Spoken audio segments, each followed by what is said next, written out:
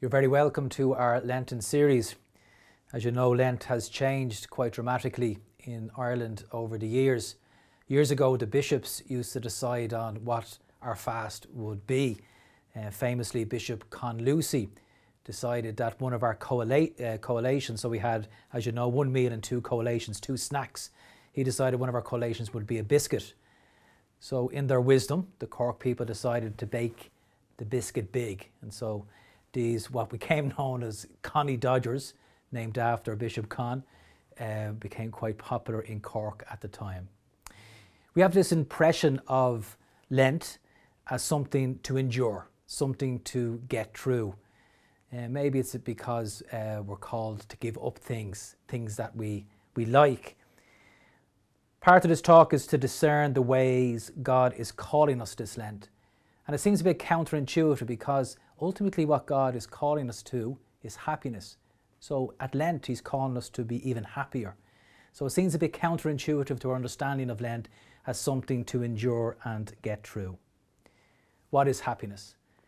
Father Spitzer, an American author, has written on this uh, subject and he breaks it into four different levels. He says that ultimately happiness is a fulfillment of desire. So I don't know if you remember um, Onslow from the TV series Keeping Up Appearances. Um, Onslow um, would fit in possibly to level one, at least initially anyway, into fulfilling our biological needs. So once we fulfill our desires for the biological, food, drink, etc., we are happy.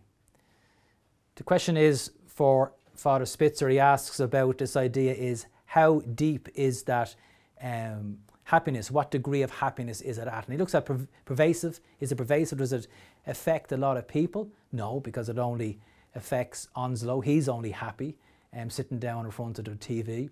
Um, is it enduring? No, this kind of happiness is quite fleeting. And is it deep? Is it using much of his intellectual capacities? No, it's not. So we move on to the second level um, of happiness. And this is where in our teenage years we become more conscious, more self conscious of ourselves as an I um, with others. And we start to compare ourselves with others. And we enter into competition with others. So when we're winning, we're happy.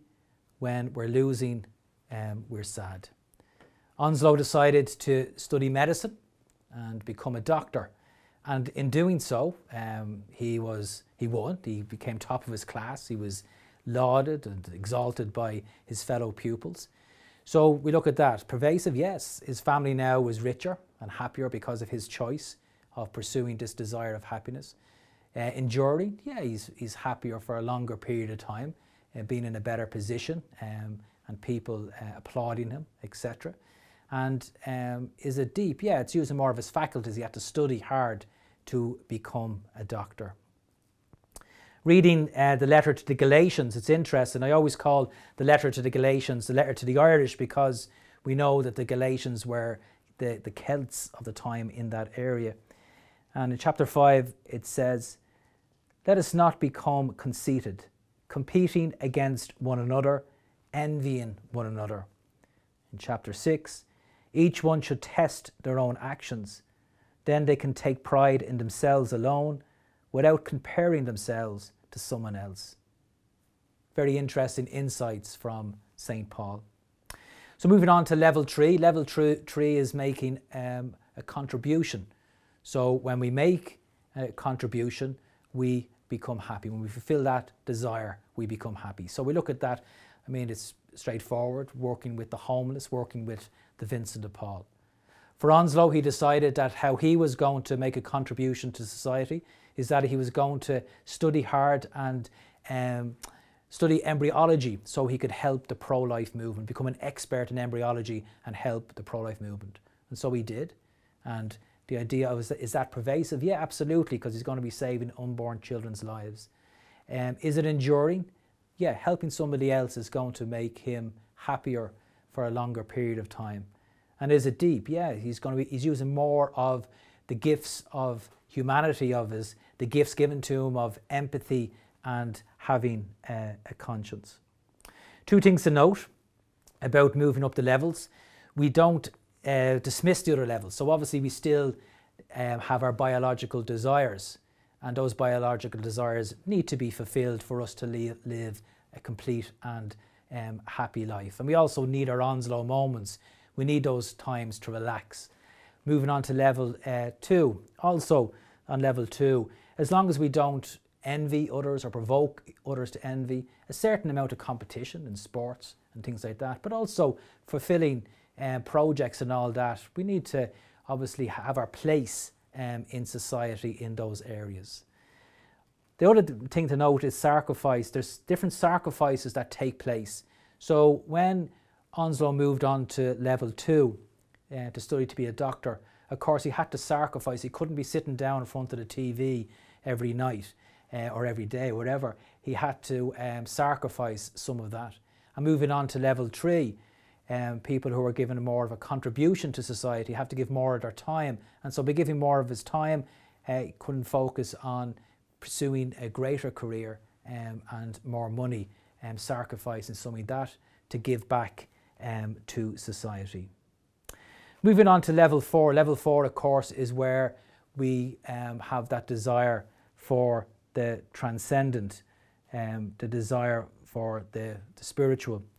Um, it's, make, it's what makes us happiest. And this is this idea of the body and the soul. The body is satisfied.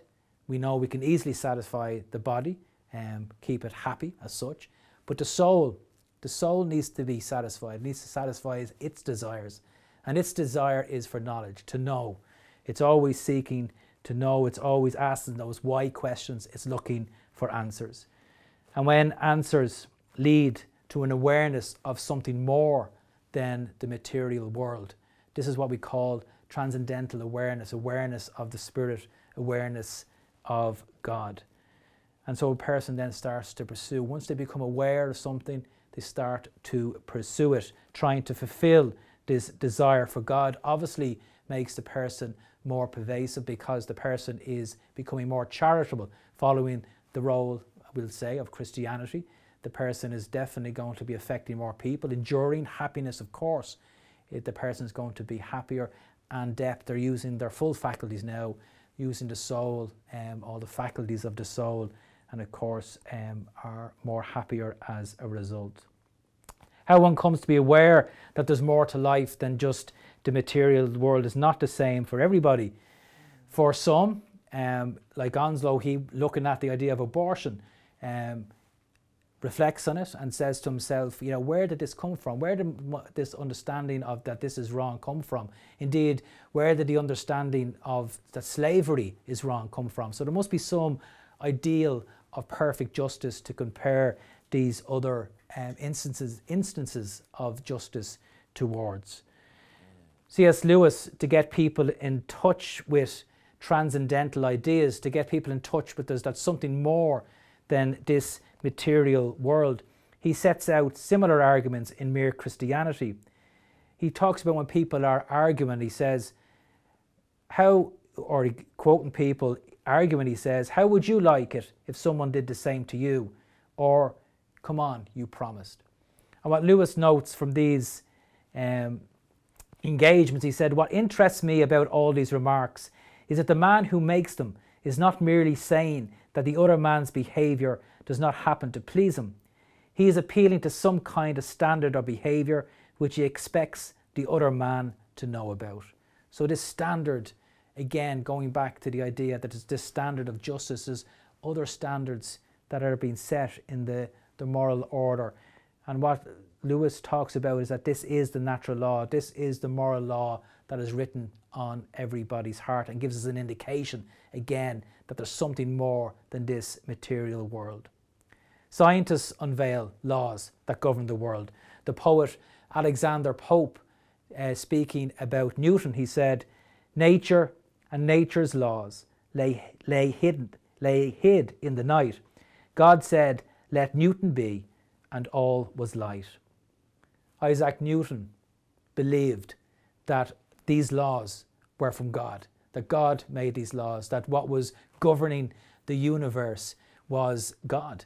He says, This most beautiful system of the sun, planets, and comets could only proceed from the counsel and dominion of an intelligent being.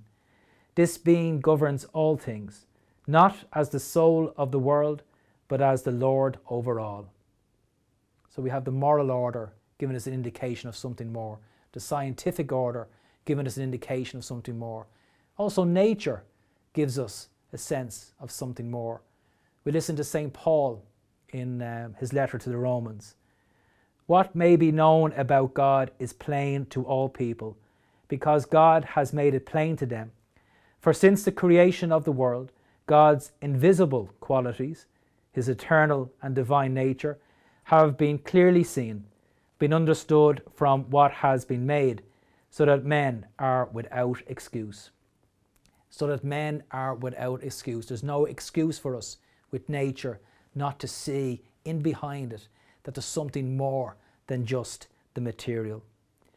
Whatever the reason for becoming aware that there's more than just the material, the person now being aware, being aware of, transcend, of trans, transcendent, being aware that there's something spiritual out there, being aware of that there's a supreme being, an intelligent being, what we call God. At least now they know there's a reason to the world. Something governs the world, something's behind it, and there's a truth, there's a purpose to their lives. The opposite is quite shocking. No truth, no order to the world means no purpose in one's life. What the atheist, atheistic philosophers talk about that life is absurd. You may have heard of the famous French philosopher Jacques Maritain and his wife Raïssa. Both were brought up, brought up in you know, religious homes, but by the time they got to college, both were atheists. They said that if they didn't find the meaning to life, if they didn't find the answers to the meaning for life, they made this pact that they would commit suicide within a year. This is what it meant to them, seeking out truth, that they felt that life was meaningless. But if they'd found a reason um, for life, that life, an answer to the meaning for life, that they uh, wouldn't uh, kill themselves. And thank God they met some Catholic intellectuals who convinced them of the true meaning of life. Another atheist looking for an answer was Edith Stein.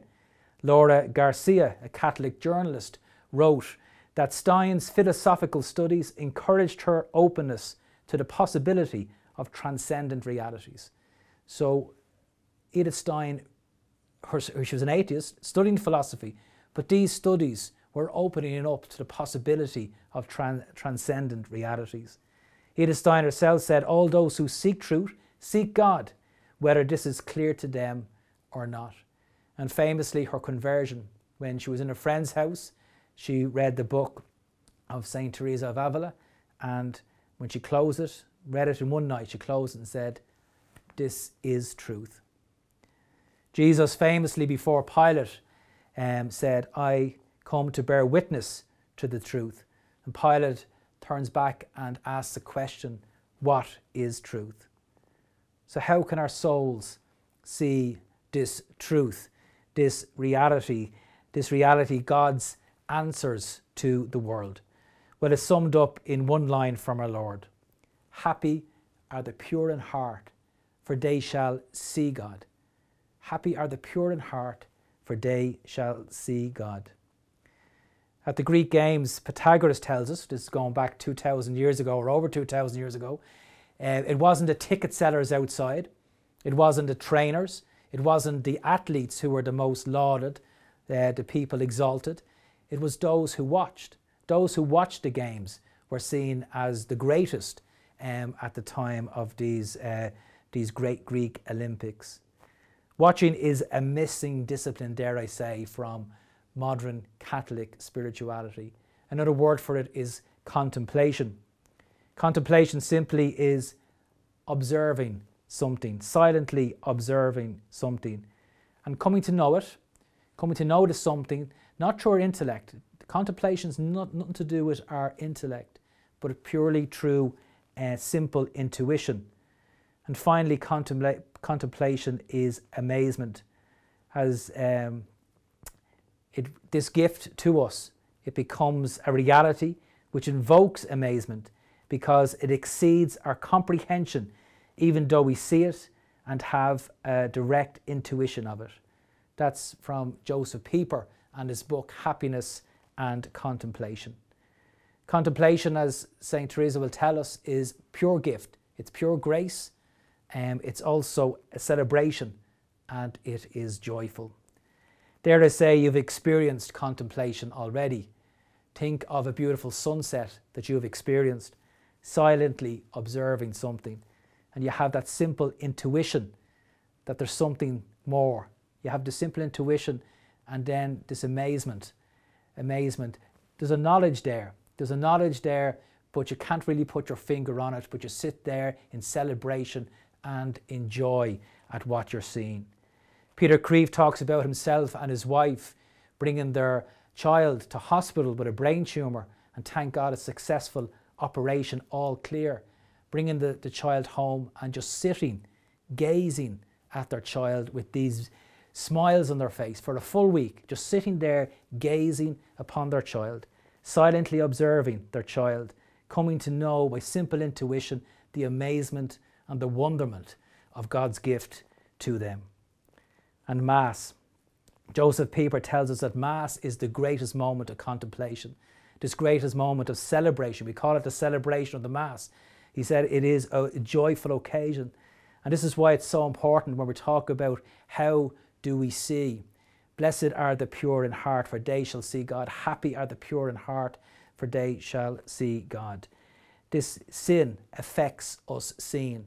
Sin affects us seeing the sunset all the time. Sin affects us seeing the true beauty of the Mass. We go back to Scripture. St. Paul, Corinthians 2, chapter 4. The God of this age has blinded the minds of unbelievers so that they cannot see the light of the gospel that displays the glory of Christ, who is the image of God. The God of this age has blinded the minds of unbelievers. John 1, um, chapter 2. But whoever hates his brother is in the darkness and walks in the darkness and does not know where he is going because the darkness has blinded his eyes. St. Teresa and her seven mansions the first three mansions is all about this detachment from sin. And the last four mansions is all about us growing in contemplation, growing in that depth of prayer with God. So, Lent, it's the perfect time for us to detach, to go deeper in our relationship with God, to detach from sin, and so go deeper and deeper in our prayer life. And a good place to start, a good place to start this Lent is to look at what the spiritual writers call the predominant fault. Our Dominican priest, um, gone to his happy reward, Father uh, Garrigou Lagrange says about the predominant fault. He says the predominant fault is the defect in us that tends to prevail over the others, and thereby over our manner of feeling, judging, sympathizing, willing, and acting. It is a defect that has in each of us an intimate relation to our individual temperament. So it's a defect that has in each of us an intimate relation to our individual temperament. And so our temperament, temperaments are inclined to these predominant faults. So these are some of the predominant faults, and they might ring true for you timidity, laziness, sloth, gluttony, sensuality, anger, pride. Father Garrigou goes on. We do not all climb the same slope towards the summit of perfection. Those who are too timid by temperament must by prayer, grace, and virtue become strong. And those who are naturally strong, to the point of easily becoming severe, must, by working at themselves and by grace, become gentle. He goes on and talks about that our predominant fault can lie hidden next to a virtue. So, next to the virtue of gentleness, if timidity lies there next um, to our, our virtue of gentleness, it can turn into weakness and overindulgence and the inability to speak up for the truth. While fortitude, again, a good virtue in itself to develop. However, if it's linked with the predominant fault of anger, it can lead to irrational violence. How do we find it? We find it by asking God. We pray for the Lord to help us find it. Also, Garrigou tells us that it's what thought most occupies our mind. Is it thoughts of pride, anger? What thoughts most occupy our mind? That's where our predominant fault more than likely lies. He also says we can ask another. We can ask a friend. We can ask um, the husband or the wife, um, or indeed our spiritual director. Um, some people might want to point out our faults to us, but uh, they might help us to uh, give us um, more insight into our predominant fault. Again, happy are the pure in heart, they shall see God. Happy are the pure in heart, they shall see God. In John 8, chapter 12, Jesus spoke to them, saying, I am the light of the world. Whoever follows me will not walk in darkness, but will have the light of life.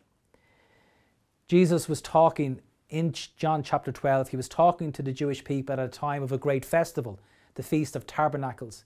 And this was celebrating the time for the Jewish people when um, they were going through the desert for those 40 years. And tabernacles translates to tents. So some Jewish people, even today, will set up tents in their, in their back gardens to remember this great feast. But here's Jesus speaking into this moment I am the light of the world. Jesus is the light of the world. What happened to the Jewish people back in that desert for those 40 years? They were led by the light of God. For 40 years, they roamed in that desert because of their doubt. They didn't get to the promised land because of their doubt, because of their sinfulness, and because um, of their lack of faith. But Jesus shines that light for us today. We enter into our 40 days in the desert. Jesus helps us in our doubt. Jesus helps us in our sinfulness. Jesus helps us in our lack of faith. He helps us see God. And so, in seeing, we fulfill our desire, our soul's desire. We, in seeing God, we fulfill our soul's desire and so are happy. However, not fully fulfilled in this earth. As St. Paul tells us, I only see dimly now what is to be revealed. I only see dimly now in the mirror what is to be revealed our pure happiness with the beatific vision. Amen.